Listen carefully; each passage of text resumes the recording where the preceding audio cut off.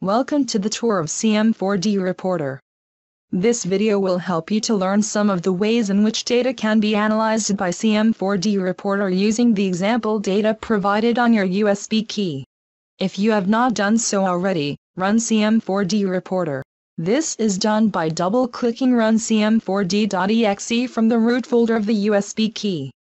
Once CM4D is running, you will need to load some data. Browse to the USB drive and open the data folder. Then open the examples folder. In this folder, you will see four folders labeled with example part names. These four parts will be the ones referenced throughout this tour. Browse to the Lego Man folder. For this example, the part image file and the first five files containing both nominal information and sample measurement data will be selected for analysis. To get the files to appear in CM4D Reporter, right-click and copy the six files. Then go to the Inbox folder, which is on the same level as the Examples folder, and right-click and paste the files there. Watch the Inbox folder for a moment. When CM4D Reporter is running, you will see the data files disappear from the inbox as they are processed. Back in CM4D Reporter, you will see an icon light up on the toolbar. This is the new data notification icon, which will become enabled anytime new data is processed through the inbox. Click the new data notification button to load the data into CM4D Reporter. The part name will appear in the yellow tree under routines, and will have a blue check mark indicating that it is the part that is loaded in the report. In this case, it is the LEGO Man data that is automatically loaded into the report. To view a six-pack report, or drill down of a single feature, double-click the annotation or right-click on it and select 6-pack from the menu. To return to the main report, double-click anywhere on the 6-pack report. Use the backspace key. Or right-click and select Report from the menu. To view different samples of your data, use the Sample Control area of the toolbar. Use the red arrows to navigate to a different sample. Take note of how the report updates to display feature information for each sample selected.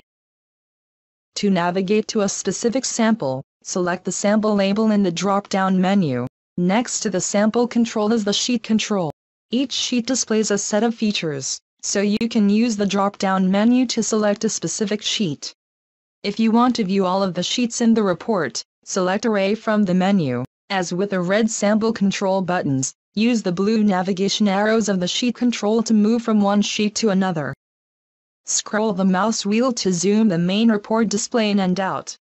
Hold down the mouse wheel to pan, or drag, the sheet within the display window. To fit the sheet to the size of your display window, select the blue Zoom Fit button from the toolbar.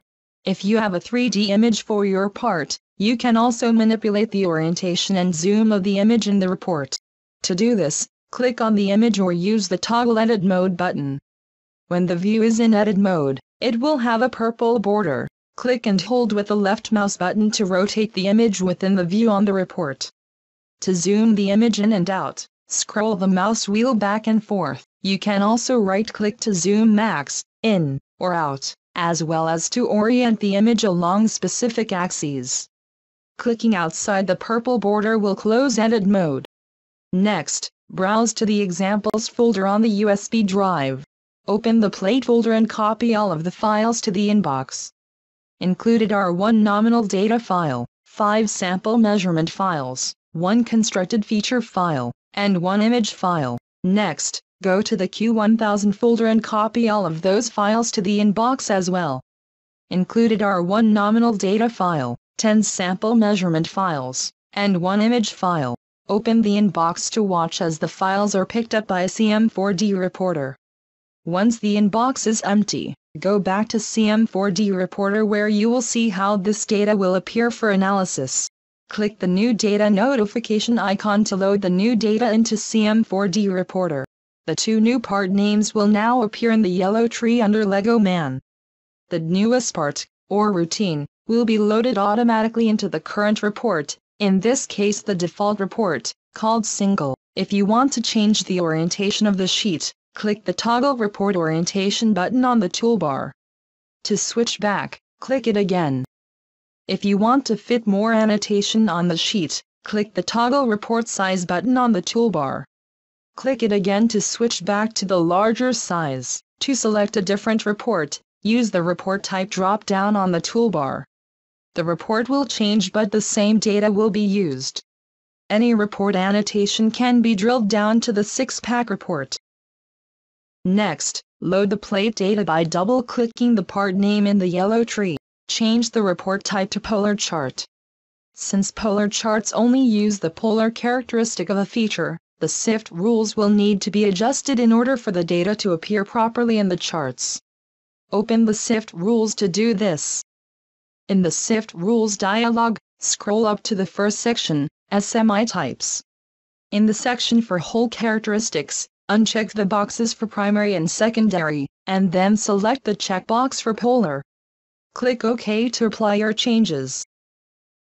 Once the right characteristic is selected, the polar charts will be displayed properly.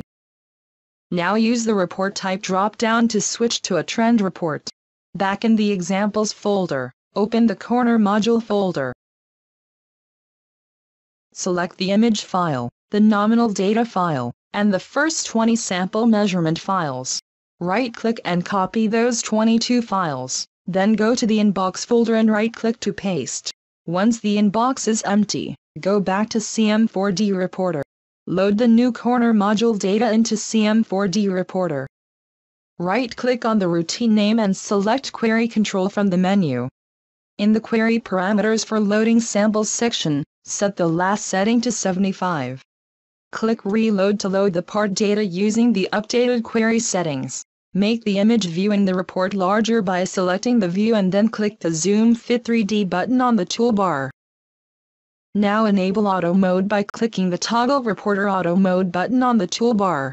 Using Auto Mode, you will not have to click the New Data notification icon each time you want to load new data into a report. New data will be loaded automatically as soon as it is processed through the inbox and into the database. Go back to the corner module folder. Scroll through the files and select the file corner module u03021.xml. Hold Shift and select the file corner module u03100.xml. To copy the files, hold the Control key and drag these 80 sample files to the inbox. Back in CM4D Reporter. Watch as the data begins to populate the trend charts when new sample data is taken from the inbox and loaded into CM4D Reporter. Each new sample will appear on the right-hand side of the chart, and will continue to do so until the number of samples loaded reaches 75. Once the max number of samples loaded is reached, the oldest samples will begin to be removed from the left side of the chart. Once all of the samples have been loaded, only the newest 75 samples will be shown. The next few minutes will show you what it looks like as all 80 samples are added to the report using auto mode.